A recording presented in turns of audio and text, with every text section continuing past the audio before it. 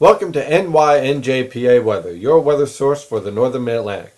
I'm meteorologist Stephen DiMartino. Well, as we have seen over the past several days this week, an area of low pressure remains to the south of the, of the Northern Mid-Atlantic. Basically, a stationary front that has been sitting over Virginia and North Carolina continues to produce waves of low pressure, and these waves of low pressure are, of course, producing scattered showers. Meanwhile, we have another strong cold front that is diving through the uh, southeastern Canada and uh, Ontario, moving towards the Great Lakes. And that cold front will also impact the northern mid-Atlantic over the next few days. Let's take a look at the radar picture. So as we can see on the radar this morning, we have a, an area of showers and some moderate rain that is developing over Virginia and moving into Maryland and central and southern Delaware.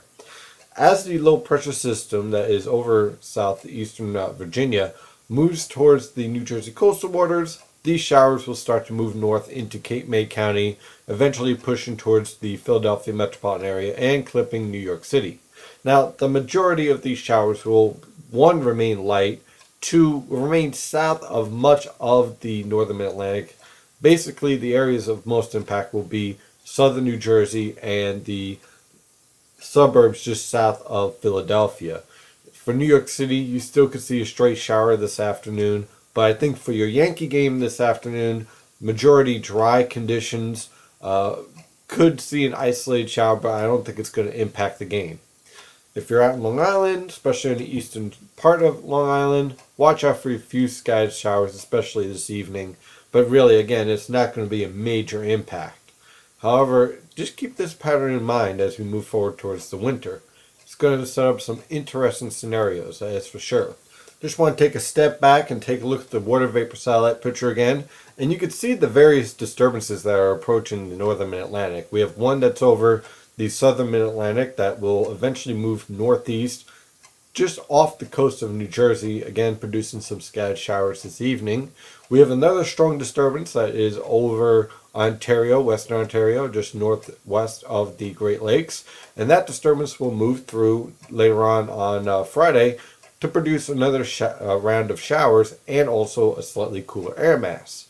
And then there's even more disturbances out to the west with an upper level low that's sitting off California, and of course, disturbances coming over the ridge over the west into the plains. So a very active, fast moving pattern is definitely in place. A pattern very, very similar to an east-based La Nina. I'll be talking about that more this afternoon.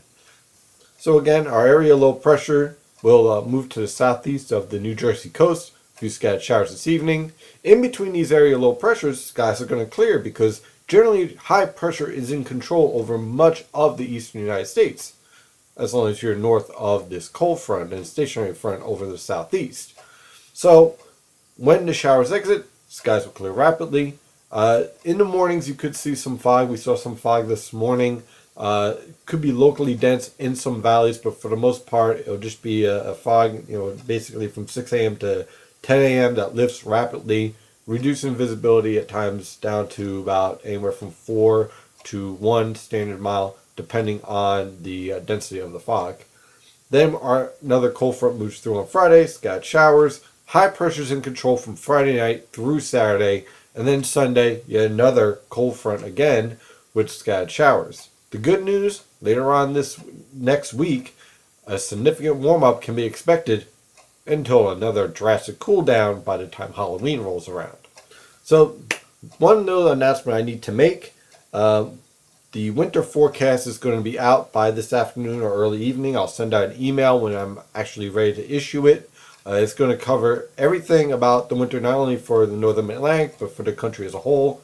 There'll be a public and also a premium discussion, uh, weather forecast discussion. The premium discussion is going to be very lengthy and it's going to show exactly what I'm looking at. So if you're looking to get an education on exactly you know, what is happening in the atmosphere, I would strongly uh, suggest to invest in that uh, discussion. And if you're a premium member already, you get it for free. So there we go. This is NYNJPA Weather. Thank you for trusting the NYNJPA Weather for all your weather Northern Mid-Atlantic needs. I'm meteorologist Stephen DiMartino. Have an excellent day.